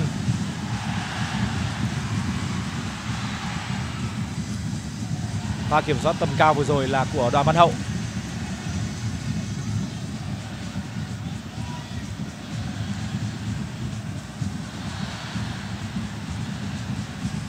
Đường truyền của Quang Hải. Văn Toàn. Văn Toàn phạm lỗi.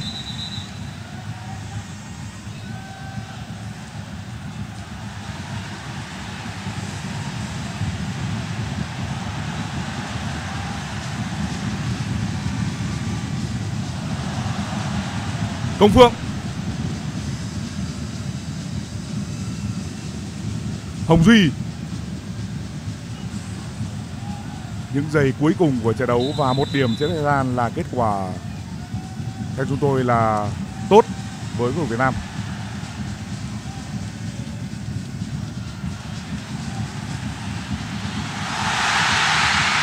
Văn Lâm. Góc sút đẹp đi nhiều xuất sắc rất xuất sắc rất xuất sắc tỷ số vẫn là không đều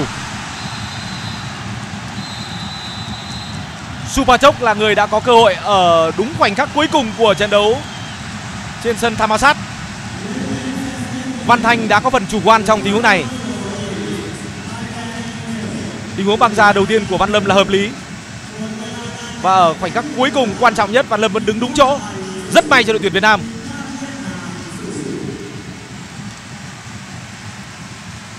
Một tình huống có thể nói là hú vía. Nhưng ở thời điểm quan trọng nhất thì cầu thủ áo đỏ vẫn đứng vững. Kết quả hòa không đều trên sân Thammasat của Thái Lan ở lượt trận đầu tiên tại vòng loại thứ hai World Cup 2022 đối với đội tuyển Việt Nam là một kết quả hợp lý. Đây là một sự khởi đầu có lẽ là tốt dành cho một chiến dịch mà chúng ta đặt nhiều kỳ vọng